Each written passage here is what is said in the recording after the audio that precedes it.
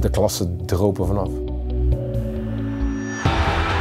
Als je de naam Feyenoord noemt in Japan, is het eerste wat mensen zeggen Shinji Ono. Heel triest zijn zijn blessures. Ja, dat heeft hem eh, de kop gekost. Er is wel roofbouw op hem gepleegd. Hij is toch de kruif van Japan. Shinji, Japanse voetbalkunst in de Kuip.